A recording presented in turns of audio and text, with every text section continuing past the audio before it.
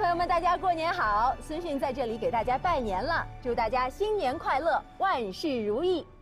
大江南北啊，中国人对羊肉的吃法并不陌生，那尤其是在春节的年味餐桌上，总少不了羊肉的身影。吃羊肉在冬天可以驱寒助暖，而且还喜气洋洋的。那一只羊如何造就喜气洋洋的春节年味呢？我现在是在云南省曲靖市的会泽县，我们的调查就从这里开始。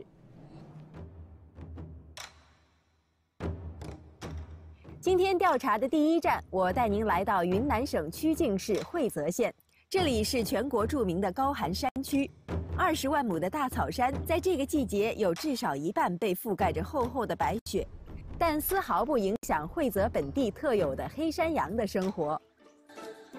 要说云南人吃羊肉，那是有自己的一套的。比如他们也做黄焖羊肉，但口味上得多带点辣。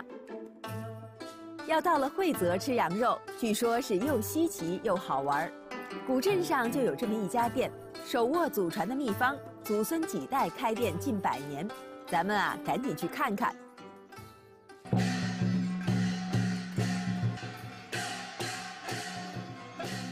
问了一圈，我发现。想要找到这家百年老店，必须经过惠泽当地一条古街，这是附近居民年前采买年货最集中的地方。这里龙腾狮舞，新年序幕已经拉开，年味那叫一个足。按照我的习惯，自然是走一路吃一路了。嗯，这个真没见过，有点像那个腊肠，但是。闻着味儿又不太一样，这是什么做的呀？猪血、豆腐和肉。我感觉好像很多地方卖那个血豆腐啊。过年的，过年的是吧？在家里都能做，家里都能做。出现频率最高的，几乎每个摊档都有的。当地人告诉我，这是他们过年必吃的血豆腐。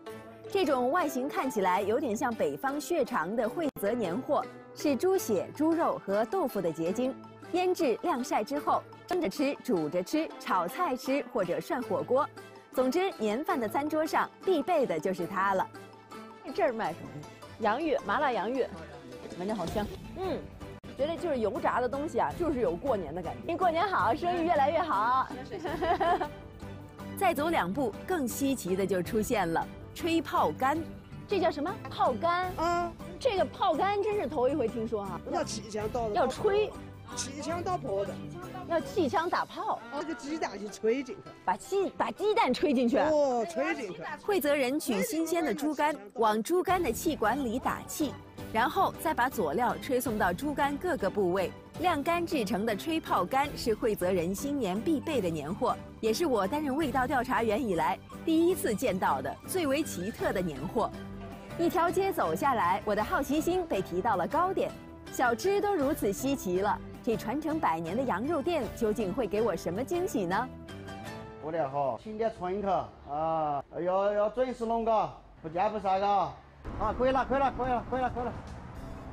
这位说着话的人名叫王天顺，是这家百年小店的第三代掌门人。从他爷爷那辈儿起，家里开了这家专门烹制羊肉菜肴的小店。按照惠泽本地老百姓的风俗，每年他家都有请春客的习惯。每年春节前都会邀请亲朋好友聚在一起，将自己的感谢之情化为一桌宴席，以食寄情，以食感恩。请问您是王天顺师傅吗？啊，是是。哇，太好了，终于找到您了。您好，您好。咱今天是不是有很多客人要过来？那来了，我请的几桌的。今天您要一展手艺了哈。那对对对。看看您这儿到底有什么好吃的羊八碗啊？今天开开眼界哈。中国餐饮文化博大精深。不少地方用菜式的数字命名一桌宴席，四碗、八碗、十碗，数字越大规格越高。所以王大哥的羊八碗，您肯定能猜到，就是惠泽的全羊宴。那么王大哥如何烹制全羊宴呢？哎，王师傅啊，我今天是能吃到一整头羊吗？一头羊是吃不掉的。哎，您小瞧我了，我这胃口挺好的。每做一道菜，你可以。都品尝到是吧？我听说啊，这羊八碗当中，就是羊干巴应该是最耗时、最费力，然后呢也最不好做的，是不是？嗯。所以我今天就专门挑这最难的，咱们来看看到底怎么个难做法，好不好？好。王大哥的羊八碗虽然只有八碗，但是得动用一整只羊，取其精华，到这儿之前，我就打听到说大哥的羊干巴远近闻名，原以为干干巴巴的肉，随便从羊身上选一块品质最差的，不就满足要求了？结果够稀奇的。咱从哪儿下第一刀呢？嗯，第一刀还是切下这个前腿，把前腿切下来是吗？对。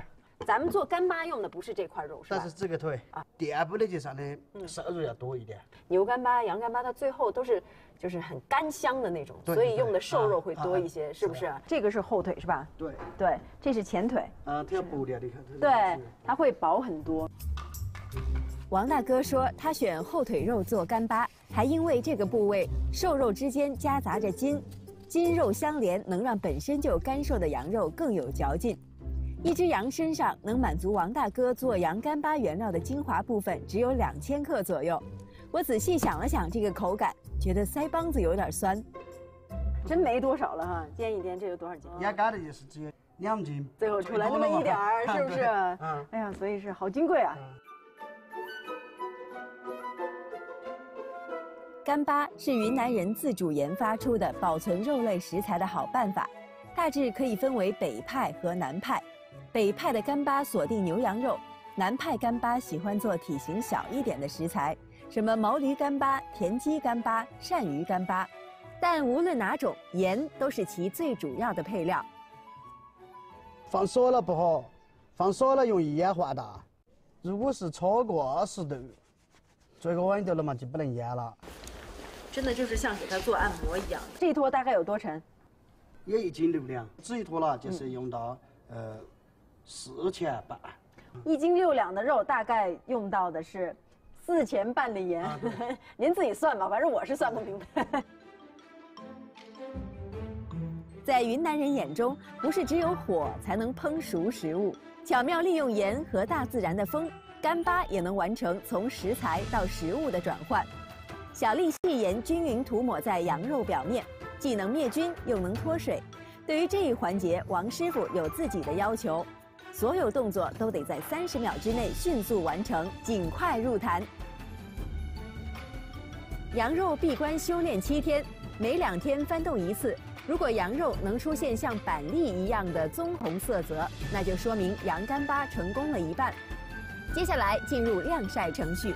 每年冬至后，天寒地冻，不利于微生物繁殖，这时羊肉容易保存，是制作羊干巴的黄金时间。他们把羊肉挂在通风的地方进行通风晾干。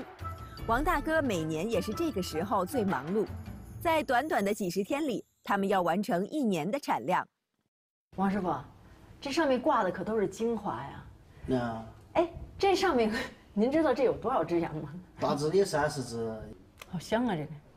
香来炒出来更香，炒出来更香是吧？这真的大自然很神奇啊，赋予它这种时间沉淀下来的浓郁的味道。此时的干巴从鲜红变暗红，从柔软到干柴，在我看来已经很有嚼劲了。但大哥说还不够，要更硬更干。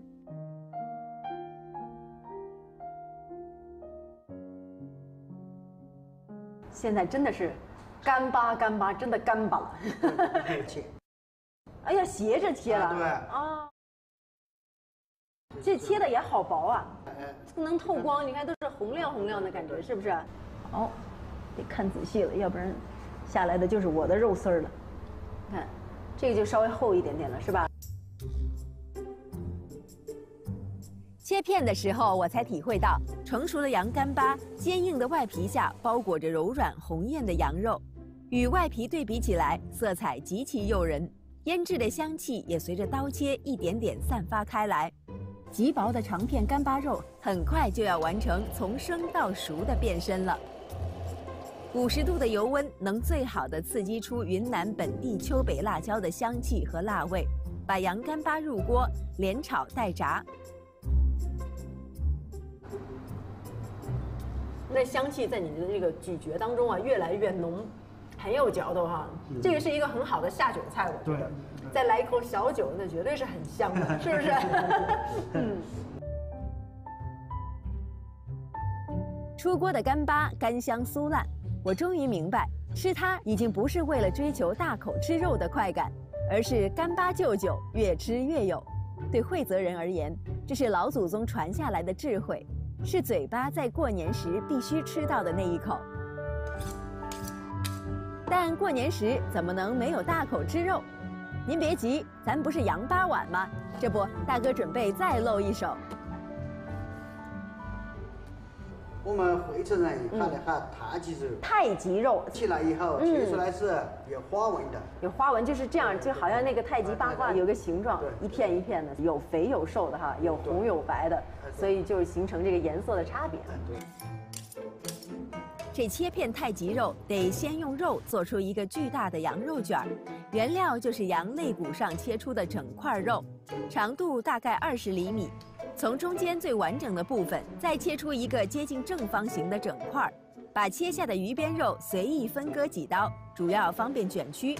就这样，肉包肉包起来，再像裹寿司一样边压边卷卷起来，最后用纱布一包就可以开绑了。捆的时候有什么特别的讲究吗？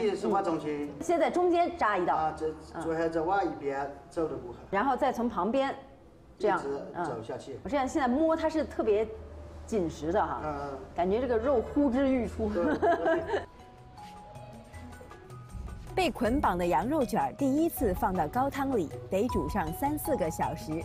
羊肉中含水分百分之七十七左右，一千克生肉煮熟只剩五百克肉也很正常，所以中间必须把羊肉卷儿捞出来，再紧紧绑。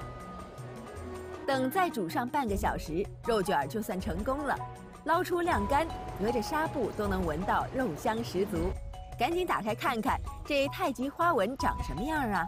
就感觉特别有质感啊，对那个香味儿就出来了哈。香味儿就是你看有红有白，它里面这个纹理啊就很自然，但是很漂亮。对，哇，哎呀，真的是就感觉都能透光。那咱们给它调个好吃的蘸水，香菜和葱花儿是吧？对对对，嗯，油辣子，油辣子，哎，这个是花生酱，哎呀，闻着就很香。放点这个沙漠鸡精，可以放点鸡精啊，对对对提一下味儿。对对对，拆分组合再切开，简单的一盘羊肉片，造型圆满，花纹自然，颜值高，内涵也好。和干干巴巴的羊干巴比起来，绝对能满足您对肉感的追求，紧实又酥烂。太极肉配上蘸水，简直就是完美组合，赶紧尝一口。嗯，吸收了这个蘸水里面的味儿啊，整个味道是特别复合，非常热闹那种对对对口感，对是不是？虽然它是一道凉菜，但是你吃起来会觉得热火朝天的。杨老板，恭喜发财，生意兴隆，生意兴隆。随着客人陆续进门，后厨越来越热火朝天。不过今年请春客，厨房里的灵魂人物就是这个百年小店的第四代掌门人的天下了。四季水煮、香葱末肉、胡辣炒肝儿，小王师傅不仅要把杨八碗的手艺学习起来，还得把请春客的风俗继承下去。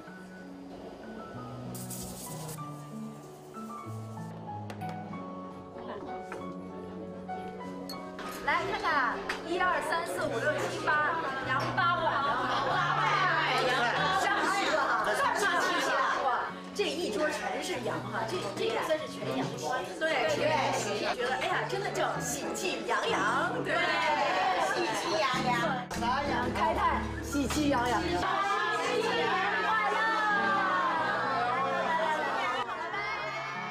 亲戚、朋友、生意伙伴欢聚一堂。